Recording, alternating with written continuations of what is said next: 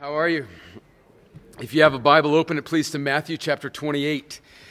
Matthew chapter 28. We're going to look at the last paragraph, verses 16 through 20, in just a moment.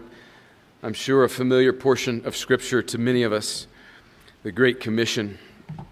Before we do that, let me just say thank you, BBC, for your hospitality, your love of this stranger. Thank you for just the gracious way that I have been greeted and encouraged and loved and uh, just listened to these past four days as we've looked at God's Word. Thank you to your pastor, Doug, and his wife, and the elders. Um, as we mentioned earlier in the week, I got to know Doug through Gareth and Carrie Franks. And Doug has preached at our church back home in the States. And uh, we've got some shared connections and shared networks that we're part of. And I'm just thankful. Pastoral friendship is a gift. And uh, it's wonderful to get to know and deepen the bonds between us, between myself and this dear brother and our churches. I want to say thank you also to my wonderful hosts, the Starkey family. Quinn and his wife uh, have just been gracious hosts and their beautiful children and have just, just waited on my every need. And uh, it's just been been a, delight to be in their home and to be, to be cared for by them. Thank you for your hospitality, for your love of this stranger. And thank you, BBC. You have so encouraged me. I will return home, Lord willing, if they'll let me back. I will return home encouraged, thankful, and energized for ministry. Let me tell you a couple ways that you have particularly encouraged me this week. And they, they may be small things, but they're things that mean a lot to, to, to me and to, to a preacher of God's Word. I have been so encouraged by the conversations I've had with you after our meetings. Conversations that haven't just been about sports or the weather or politics or even really the, the coronavirus, as serious as that is. The conversations have been saturated with application of the things that we've been looking at. And it's obvious that this church has a heartbeat for the gospel. And our conversations after these meetings have been infused with considerations of what God is doing in this local church and how He is calling you. And that's been tremendously encouraging. Also, what has deeply encouraged me is that when the service leaders, whether it's been one of the brothers reading a scripture, praying, or even this morning as your pastor was reading scripture and praying, and your heads are bowed and your eyes are closed, there's this sort of agreement in the, in the room that I can sense people under their breath saying, Amen. And that, and that just makes faith and confidence swell in a person's heart when they know that there are hundreds of people in the room in one accord gathered together around the glorious good news of the gospel, leaning forward into what God is calling us to do. Friends, that is powerful. That's powerful. And even just when we open the Word and read from it, and I can hear the sound of pages in the Bible flipping, friends, that I'm half Italian, and so uh, it was obligatory for me to watch the Rocky movies where Sylvester, you know, Rocky Balboa would run through the streets of Philadelphia and run up the steps and, you know, kind of shadow box. And when I hear hundreds of Bibles flipping pages, I, I just, I want to put on Eye of the Tiger, and I just, I just want to shadow box. Praise God for the sound of Bible pages flipping. Well, Thursday night we looked at the gospel. We pointed our, our compass due north. And none of this really means anything unless we understand the gospel and unless we hold fast to the gospel. Friday night we looked at the sovereignty of God and missions and how what the world seems as a contradiction and a paradox, the, world, the word, Paul, is actually quite comfortable with. That it is God alone who elects, and yet the way that God elects is through the means of the faithfulness of the evangelism and the mission sending force of his people. And last night we looked at the life of the local church as being central, being the platform from which God launches missions and missionaries. How our ecclesiology informs, gives way, leads to our missiology. And this morning, I want us to end our time together in this World Outreach celebration by looking at the simple, clear, great commission that Jesus leaves his disciples and all of us with before he ascends to heaven. So let me read this text and then pray. Matthew 28, starting in verse 16. Now the eleven disciples went to Galilee, to the mountain to which Jesus had directed them. And when they saw him, they worshiped him, but some doubted. And Jesus came and said to them, All authority in heaven and on earth has been given to me. Go, therefore, and make disciples of all nations, baptizing them in the name of the Father, and of the Son, and of the Holy Spirit, teaching them to observe all that I have commanded you. And behold, I am with you always to the end of the age. Let's pray and ask the Lord to help us. Father, your word is inspired, it's breathed out by you. As a result, it is inerrant, it's completely without error, it's true, it's infallible. Because it's breathed out by you and because it's completely without error, it has all authority. It's your word to us, to your people It commands us, it shapes, it makes, it creates what it commands. And Lord, it's sufficient. It's all that we need for life and godliness. Lord, fasten our hearts to this word. Rather than considering this word as if we are in judgment over it and can decide whether or not it applies to us or whether it has say or hold or sway in our lives. Give us the gift of humility this morning as we look at your word, as we humble ourselves underneath it. Lord, this morning, do things that we cannot do in and of ourselves. I pray that you would make any dead hearts in this sanctuary alive by the power of your word, by the richness of your love and mercy. That you would give ears to hear and eyes to see and a, a new heart for anybody that is here this morning that is dead in their sins, that needs to be saved. Maybe there are some that consider themselves to be a Christian. Maybe they think they're trusting in Christ, but they're not. They're deceived. By your kindness, Lord, would you cause scales to fall from those eyes?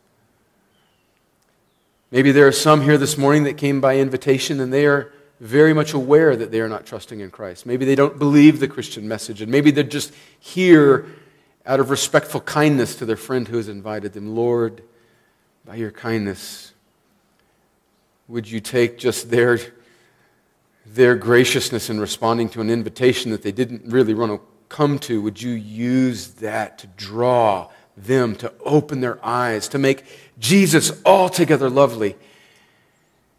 so that they would see their need for a Savior and their accountability before a holy God, and they would turn from trusting in themselves and put their hope and trust in Jesus alone who can save them. Lord, for my brothers and sisters here this morning, would you build us up in the most holy faith? Would you do more than just get us to the end of a missions conference, but would you do things this morning in our hearts? Would you give us resolutions and resolve in our hearts this morning that would have ripple effects in the ministry of this church for months and years and decades to come? Lord, maybe this morning would you call a young person or an old person to gospel ministry, to giving their lives away for the sake of the gospel amongst the nations? Lord, would you reason in somebody's heart this morning to share the gospel, to not just be somebody that hears the gospel and believes the gospel, but somebody that gives away the gospel? And would you, would you deepen our confidence in the gospel, deepen our hearts in what you've called us to do? All for the glory of your name and for the joy of your people and for the salvation of all the lost that you have called to yourself. Do these things, we pray, we ask, we pray. There's nothing, there's, there's nothing more important than this. And I pray it all in Jesus' name. Amen. This message has two parts. Part one is explanation, part two is application. Part one, explanation. We're going to look at these few verses and I'm going to do my best to explain them and then we'll, we'll look at applying them to our lives. Look again at verses 16 and 17. Matthew, the gospel writer, says, Now the eleven disciples went to Galilee, to the mountain to which Jesus had directed them. And verse 17, a fascinating verse, it says, And when they saw him, this is speaking of the 11 disciples. Again, Judas has fallen off, so there's 11 disciples. And when they, the disciples, saw him, they worshiped him, but some doubted. Think about that phrase there at the end of verse 17, but some doubted. Who are the some that doubted? Now, was it the, some of the disciples, or was this just a more general phrase? There's some of the other people that maybe happened to be there. Really? Were these 11 disciples that were with Jesus during his earthly ministry, that saw him do all of these things, raise the dead, feed the hungry, walk on water, make a, a feast out of a few fish and a few loaves of bread? Really? They saw him now resurrected from the dead. Really? Did these disciples doubt him? I think most likely what Matthew is saying here is that, yes, it wasn't just generally some people who were on the fringes, but it was even these disciples amongst these 11 that some of them doubted, that they hesitated. The reason why I think that that reference of those who doubted is referring to those of these 11 that are mentioned in verses 16 and 17 is because this same verb to doubt is used in chapter 14 and verse 31 of Matthew's gospel to describe Peter's little faith when he was sinking into the sea when Jesus told him to come and walk to him.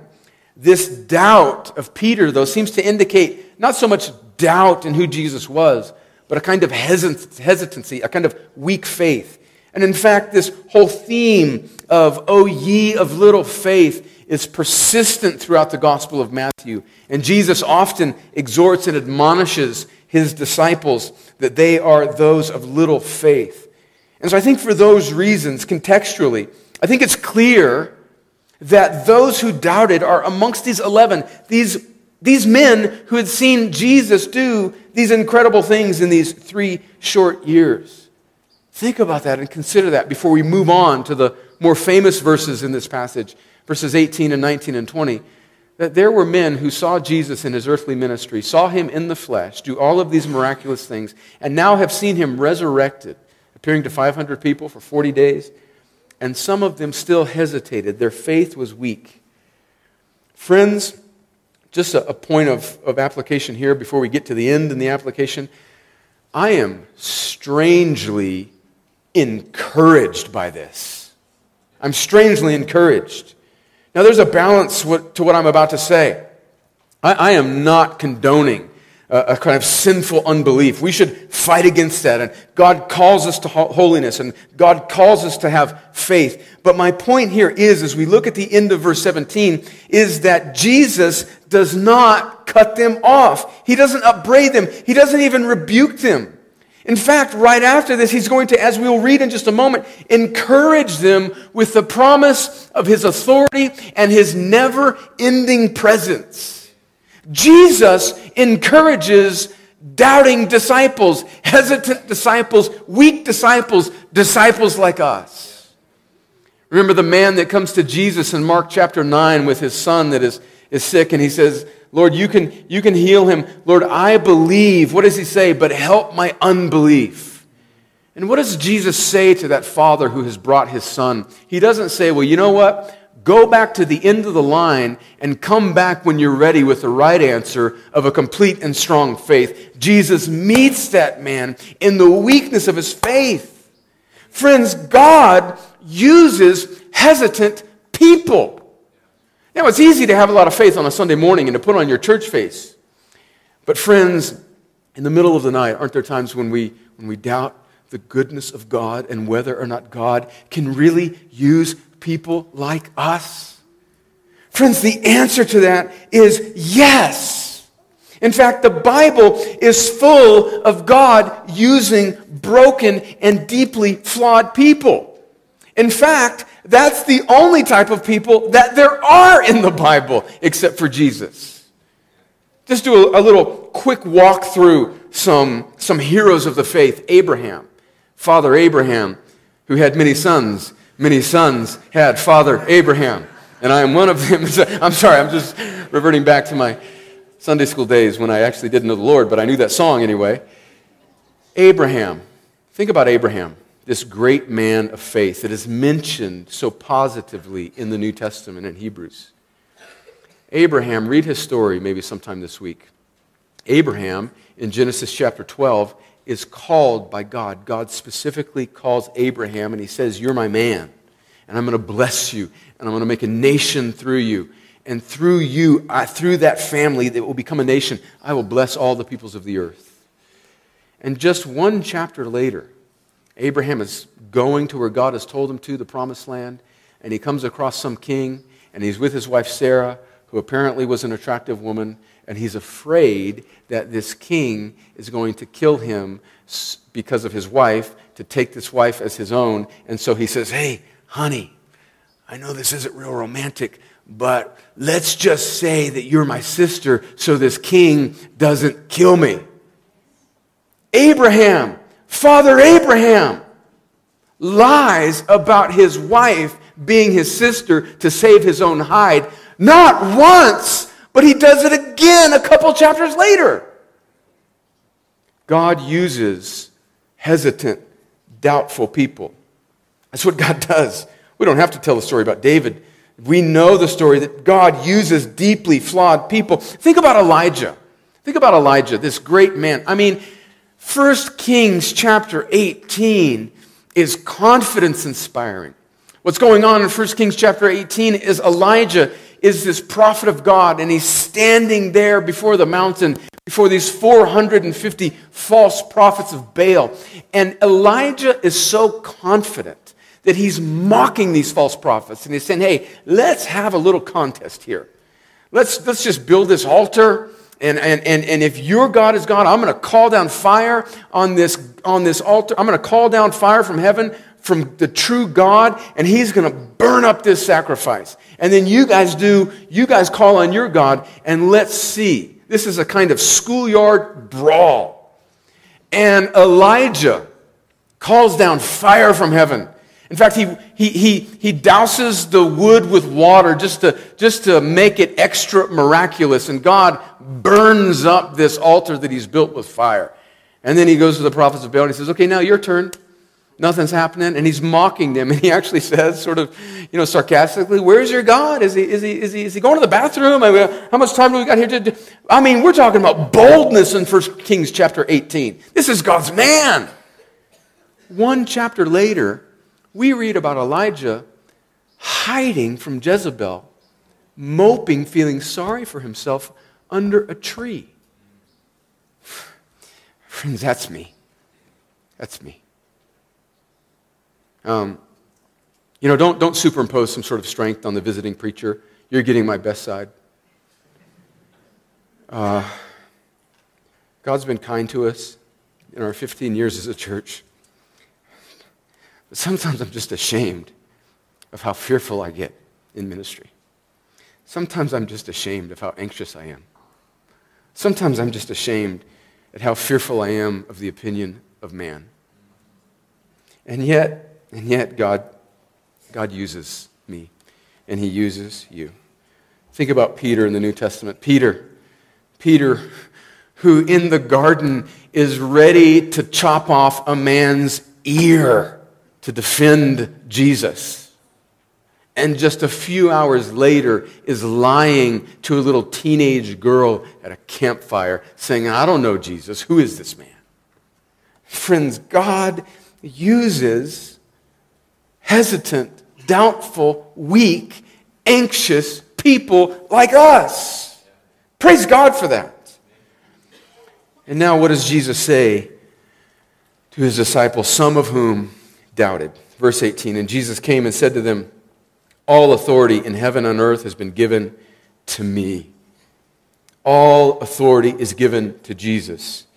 We read about this earlier in Matthew chapter 11, verse 27 It says, All things have been handed over to me. This is Jesus speaking to me by the Father. And no one knows the Son except the Father, and no one knows the Father except the Son, and anyone to whom the Son chooses to reveal him. And so Jesus, earlier on in the Gospel of Matthew, is saying to his disciples that all things have been handed over to me. I have all authority.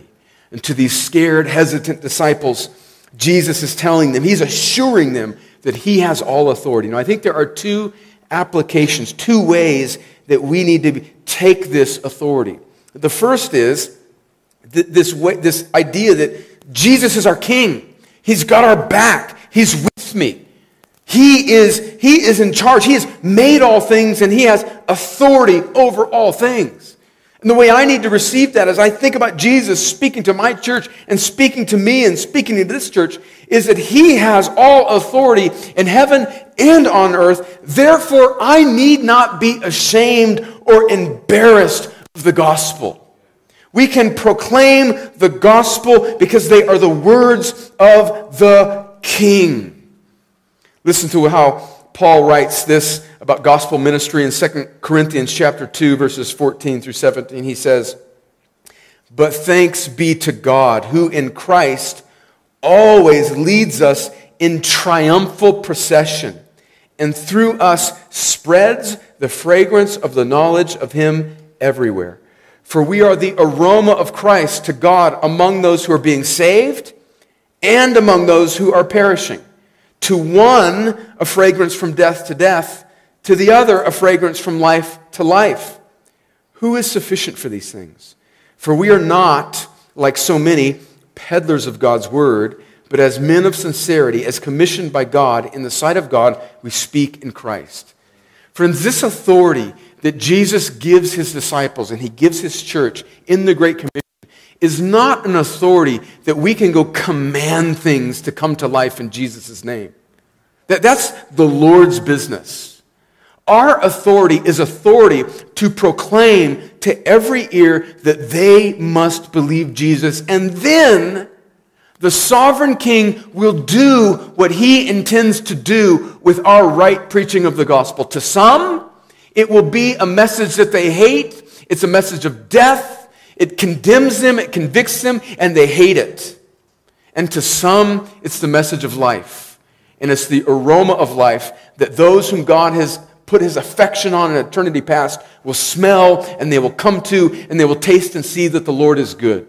That's the Lord's business. But we have the authority. In fact, we are given the authority to proclaim the word of Christ. And that is no guarantee that every person that we preach the gospel to will come to faith. It's a guarantee that God will do what God will do with his word through us. But there's a second way that we need to take this authority as well. Not just that we have his authority, but that we are under his authority. Because he has all authority, he commands Christians like us now, two millennia later, to see this and hear this and heed this command. In other words, what Jesus is about to tell us in verses 19 and 20 is not optional. It's not optional for the New Testament church. We can't treat the Great Commission like it's merely one aspect or one option or one offering of the Christian life. Like, oh, yeah, those people are really concerned about missions. But us, you know, we're, we're really concerned about, you know, discipleship. Friends, we can't bifurcate those two things, they, they go together. What Jesus is about to say here is the command for every Christian. This is not, what Jesus says here to the church is not like a, a variety of Sunday school offerings that we can choose from and sign up for. We are all soldiers in God's army, and He is the general. So he says, All authority has been given to me. And then what does he say in verses 19 and 20? He says, Go therefore and make disciples of all nations, baptizing them in the name of the Father and of the Son and of the Holy Spirit, teaching them to observe all that I have commanded you. And behold, I am with you always to the end of the age. Look at that first phrase there, verse 19. He says, Go therefore and make disciples. Go. Go, church and make disciples. What does it mean to make disciples? It means to clearly communicate the gospel. How does God do the making of disciples through us? by taking our right communication of the gospel that is the power of God unto salvation. And he uses our preaching and teaching and sharing through hesitant, imperfect vessels like us. And as we stick and fasten ourselves to the gospel and communicate it rightly and clearly, God uses us as conduits of the gospel to hit dead hearts and make them alive. That's what he's telling us to do, not to contrive clever strategies or not to have all sorts of things that will attract carnal people and entertain them. But God commands us to clearly and winsomely preach the gospel, and then God will do what God will do with it. Listen to what Jesus says in John chapter 6. This is a great promise to the New Testament church. John chapter 6, verse 37. Jesus says, All that the Father gives me will come to me. And whoever comes to me, I will never cast out. For I have come down from heaven not to do my own will, but the will of him who sent me. And this is the will of him who sent me, that I should lose nothing of all that he has given me, but raise it up on the last day. So here's this grand promise that the Trinity, this, this covenant of redemption that the triune God has made with himself, this pact of redemption between the Father and the Son and the Spirit. The Father has elected a people in eternity past. And the Son has accomplished the salvation of all those that the Father has elected through his life and death and resurrection.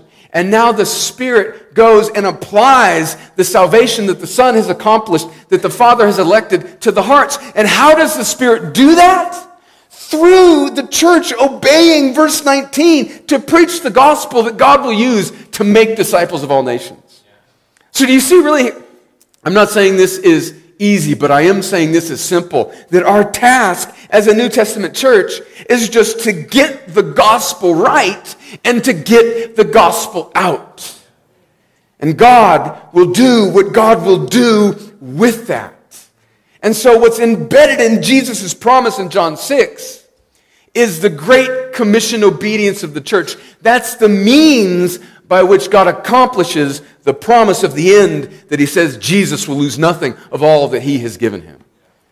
Friends, as we do ministry, as we send out missionaries, as we witness to our neighbors, we are part of the means by which God is bringing John 6, Jesus' words, to completion.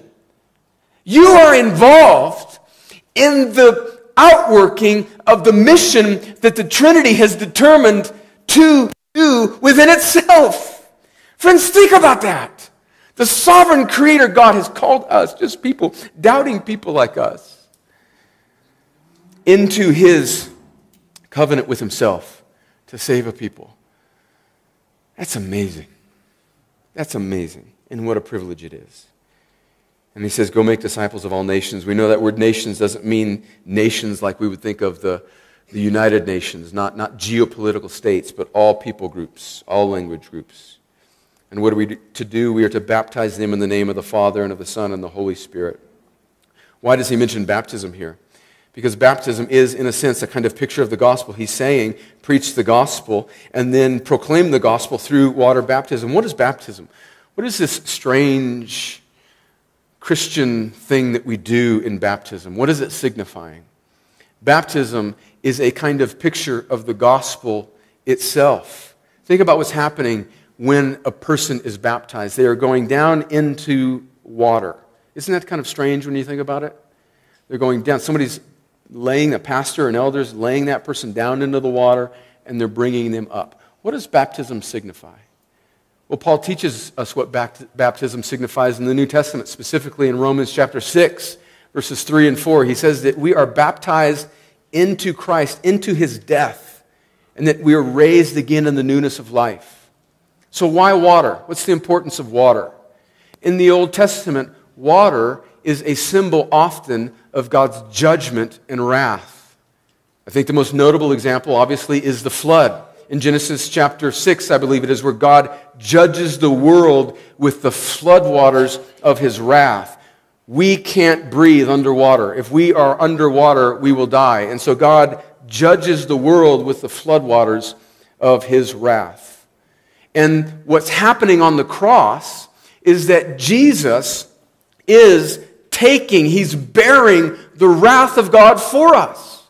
That's what this beautiful word propitiation means in the New Testament is that Jesus is bearing God's wrath. And he is taking the judgment of God that is symbolized with the floodwaters of wrath in the Old Testament. Jesus is taking God's wrath and he's removing it. He's drying it up. Jesus is, as Spurgeon says, drinking damnation dry. He takes the floodwaters of God's wrath for us. And so, what Paul means in Romans chapter 6, when he's talking about baptism, he's saying that we are in Christ. And so, Christ taking the judgment of God for us, going under the floodwaters of his wrath, which is meaning dying on the cross, that when we are going down in baptismal waters, in this, this picture of baptism, it's we are proclaiming to the world that we have died in Christ, that Christ has died for us, that he has taken the penalty for all our sins, and he's dried it up.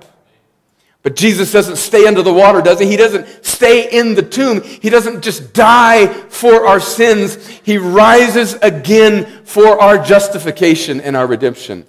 And so Jesus comes up out of the grave. He comes up out of the floodwaters, and we in Christ rise again. He doesn't just die for us, but he rises again, and we rise with him in the newness of life. So what, why is baptism mentioned here as so central to the mission of the church? Because it is a picture of salvation itself. It's a picture of the gospel itself. That we go down into the floodwaters with Jesus. He takes God's wrath, He removes it, and we rise again in victorious resurrection life in Christ. Now the old has passed away. Behold, all things have become new. I have been crucified with Christ. It is no longer I who live, Galatians 2, verse 20, but Christ who lives in me. And the life I now live, I live by faith in the Son of God who loved me and gave himself for me. Friends, baptism is at the very crux of the New Testament church. Have you been baptized? If you're a believer, you need to be baptized. You need to be baptized into the local body. To be baptized isn't just your individual profession of faith, it's your baptism into Christ. And what is Christ? He's the head of a body. It's to be baptized into his bride with his people.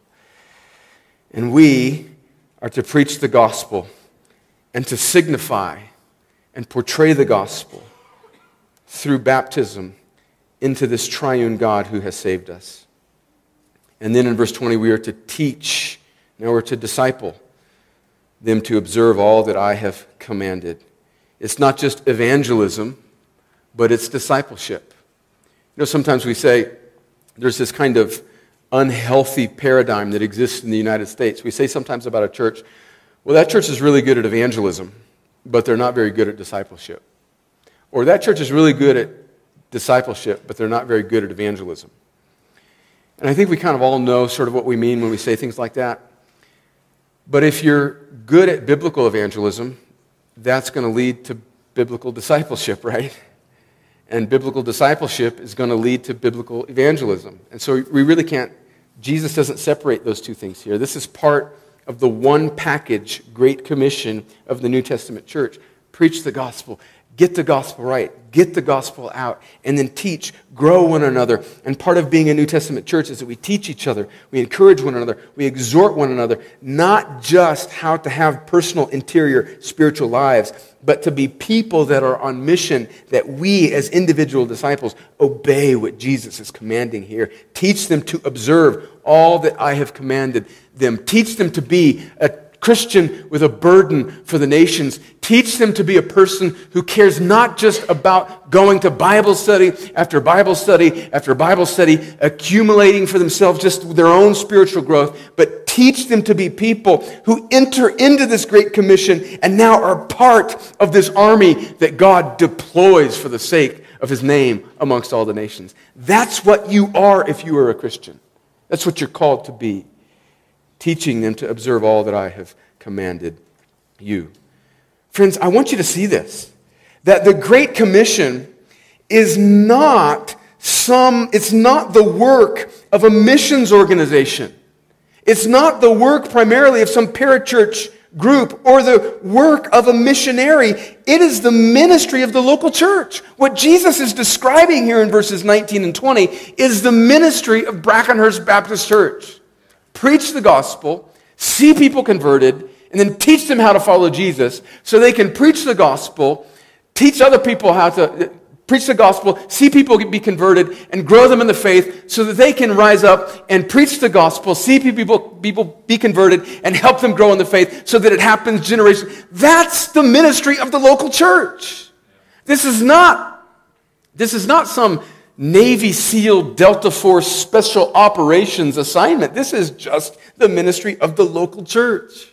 And Jesus is saying this is for us to do. And he promises us Behold, I am with you always to the end of the age. How is he with us? He's with us through his helper, the Holy Spirit, this triune God, Father, Son, and Holy Spirit, who's with us. Listen to what Jesus says about the ministry of the Holy Spirit. John 16, verse 7 Nevertheless, I tell you the truth. It is to your advantage that I go away, for if I do not go away, the Helper will not come to you. The Helper, meaning the Holy Spirit. But if I go, I will send him to you. And when he comes, he will convict the world concerning sin and righteousness and judgment. Then, skipping down to verse 13, when the Spirit of truth comes, he will guide you into all truth, for he will not speak on his own authority, but whatever he hears, he will speak, and he will declare to you the things that are to come. He will glorify me, for he will take what is mine and declare it to you. All that the Father has is mine. Therefore, I said that he will take what is mine and declare it to you. Friends, if you are a New Testament believer, if you're a born again Christian, the Spirit of God dwells in you, and his, He dwells in you for something far bigger than just your own personal sanctification, as glorious and important as that is. But He dwells in us for the Great Commission. So that's explanation. Application. Three points of application before we end really three actions that I'm asking each of you to take. Three actions that I'm asking each person in this room that is a believer to take in response to this text and to this world outreach celebration. Number one, know the gospel and commit to personally sharing it with an unbeliever. Really, let, us be honest with ourselves. There's something a little off about saying we care deeply about missions and the nations if we don't care deeply about our neighbors that don't know Jesus. Don't, please don't hear this as me scolding you. I, I'm really not. I'm simply wanting to exhort us and encourage us. Friends, we can do this. We can do this. If you're a member of this church, you know the gospel. Well, you may need some practice and some encouragement and some, some boldness to share it, but that's okay. Maybe one of the most important things that will come out of this World Outreach celebration is not just an expanded heart for the nations, but a burden for the local lost. And maybe one of the most important things that will come out of this is that a believer, a hesitant, doubting believer in this church will be more active in sharing the gospel, sharing their faith, maybe for the first time. Friends, I encourage you to know the gospel, rehearse the gospel and commit to personally sharing it with, the, with an unbeliever in your life. What is the gospel? The gospel is the glorious good news that God is holy and sovereign and that he has created mankind in his image. But we have all forsaken him. We have all turned from him. We've all rebelled against him, and our sin and rebellion has brought spiritual death. But God, in his kindness, has sent his son Jesus, God, the, God as a man, truly man, truly God, to live a perfect life, lay down his life on the cross, to bear the wrath of the Father, and rise again in victory. And now he commands all people everywhere to repent and believe and trust in him. And friends, if you do not know Jesus today, you need that gospel. Your greatest need is the gospel. And right now, what the Holy Spirit says to you is to not look within yourself to not consider how you are relatively a good person compared to other people. In fact, the Bible says very clearly that you're not a good person, that there's nothing in you that can commend you to God. And actually, that's good news. Because if, if it was up to your goodness, when would your goodness be enough to actually qualify you to God?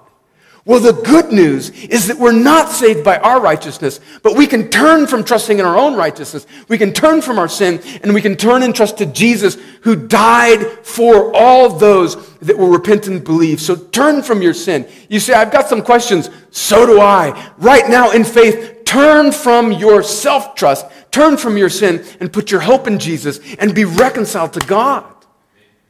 Friends, that's the gospel. And if you're a believer in Jesus and you're a member of this church, you know that gospel. You know that gospel. And you can share it with others. And you say, Well, I'm, I don't know if I'm too, so good at sharing the gospel. Well, neither am I. None of us really are. None of us really are. The power is in the gospel, not in the jar of clay that shares it.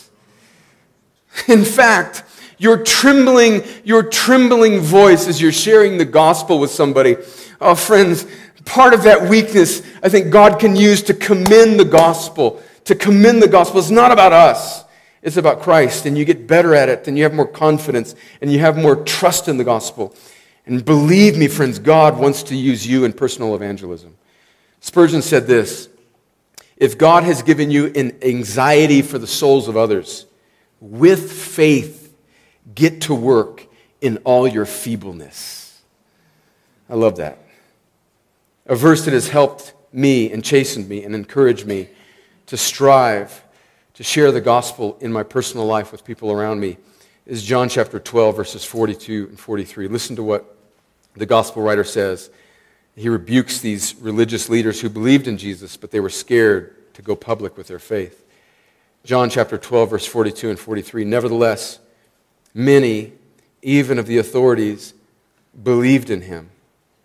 But for fear of the Pharisees, they did not confess it, so that they would not be put out of the synagogue. For they love the glory that comes from man more than the glory that comes from God.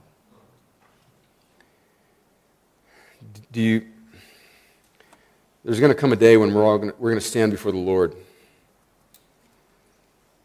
And our social awkwardness and the embarrassment that we felt in that moment that kept us from sh- sharing the gospel, it'll mean nothing it'll mean nothing.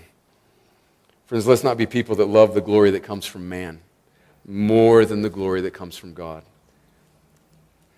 If we love the souls of people, as Spurgeon says, with faith, get to work in all your feebleness. I thank God that my, bro- my biological brother, who's three years older than me, shared the gospel with me progressively and patiently over the course of about three years. He went away to college and he came to faith in Jesus. And he would come back home on his breaks and he would share the gospel with me. I thought I was a Christian. I wasn't. And he would just take every little, there wasn't a time when he sat down and he said, Brad, I'd like to share the gospel with you. And kind of, it didn't really happen like that. And that's a fine way to do it. But he just told me that he had become a Christian, that he was trusting in Jesus now, which was strange to me because I thought he already was. So even that was a kind of witness to me. And then he started to live his life in front of me. And then in tidbits and conversations over the course of weeks and months and years, he would challenge the way I was living. He would challenge the things that came out of my mouth. And he would say, Brad, I think you're trusting in yourself. I think you're a sinner. And I think you need to trust in Christ. And the Lord used the faithfulness of the imperfect gospel witness of my brother to bring life to my heart. So, action number one know the gospel and commit to sharing it personally with an unbeliever. Action number two pray for your missionaries and the gospel mission sending work of this church. Know your missionaries. Know that board out there with all of their pictures on it and their stories. I was so blessed by one brother who earlier in this week presented. He was a, a church planter, I think, in one of the townships. And he was, when he was presenting, he was talking about how Brackenhurst members messaged him regularly words of encouragement, telling him that they were praying for him. And that put fuel, it was obvious, that put fuel and wings on that brother's feet to share the gospel. Pray for your missionaries. Know that God uses our prayers. He uses our prayers to bring about the completion of his mission. And so be a person who shares the gospel, yes, but also who prays for the gospel and lifts up your missionaries and holds the rope so that these missionaries can take the gospel to the ends of the earth. And then finally, ask the Lord what he wants of your life. Ask the Lord what he wants of your life. Let that be the, the, the culminating thing on this world outreach celebration. You've heard truth. We've pondered scripture. We've thought about the gospel. We've heard glorious reports of missionaries and pastors all around the world and all around South Africa. Now, ask the Lord what He wants of your life. What He wants of your life. Now, friends, I need you to know this is full disclosure. This is dangerous. Because if you, if you really ask the Lord, Lord, here am I, what would you have me to do? Where will you send me? Whether it's to my neighbors or the nations. You need to know that God delights in answering that prayer. And God is very willing to spend our lives for the sake of His great name, but nothing is more worth than being spent and poured out for the sake of His name. Somehow in the West, we have somehow turned Christianity upside down as if it's what God can do for us to make our life more comfortable and functional and wonderful, when actually it's the inverse. What can we do for the King who has saved us? How can we give away all of our lives? How can I stand on that last day, not with a bunch of stuff and trinkets, but with my hands empty, my energy spent, exhausted for the sake of the kingdom? And friends, that is not where emptiness is found. That where is where joy is found to stand before the Lord with nothing and saying, It's all yours, it's yours. And I, I spent my life giving myself to your mission. And don't romanticize that. That can just be the regular, faithful plodding of an average, ordinary member at a local church whose head's on a swivel, who cares about the gospel, who centers their life on the church, who encourages others, who prays for other people, who disciples young people, who gives their life away for the ministry of the church, and they stand before the God, before God someday with a life spilled out for the glory of God. Friends, there's nothing, nothing more satisfying than that. And that's before every one of us. That's for all of us. Whether we go to the nations or we stay here and labor amongst our neighbors. That's the Christian life. It's the Great Commission. So pray and ask the Lord what He is calling you to do. Lord, what do you want me to give? What do you want me to write on that faith pledge card in a few minutes? But it's not just about giving, isn't it? Just some financial thing, as, as, as necessary as that is. Lord, what are you putting your finger on my life that needs to die, that needs to go away? What am I prioritizing over gospel ministry? What needs to change in my life? Are you calling me to go? Lord, here's my life. Use it for your glory and my joy. James 4, verse 17 says, To him who knows the good that he ought to do and does not do it, to him it is sin. Now, I, I hope this teaching has been helpful to you, but I hope beyond just my, my words that I hope have been faithful and true, that, that God would go far beyond that, and the Holy Spirit would make application and burrow into the deep places of our heart and put his finger on our heart and say, This, this is what I want you to do. And then that we, as we sang this morning before the question and answer, that we would obey.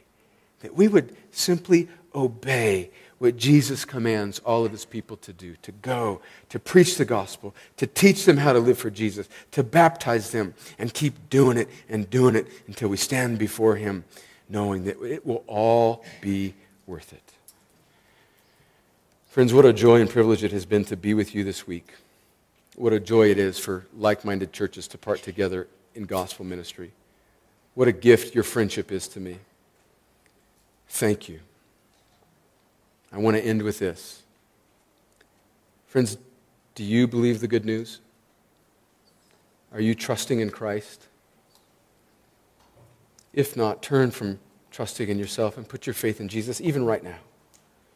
Do not leave this building today before you've talked to somebody that you know to be a Christian or a pastor or elder of this church and talk to them about what it means to follow Jesus. Along those same lines, you're a Christian that's already born again. Do you, do you really believe that this applies to you? It does, friends. It applies to all of us. What would the Lord have you to do in this upcoming year and for the rest of your life for the glory of His name? To conclude, let me read Psalm 67 and then pray it back to God for you. This great mission psalm. It says, May God be gracious to us and bless us and make his face to shine upon us, that your way may be known on earth, your saving power among all nations.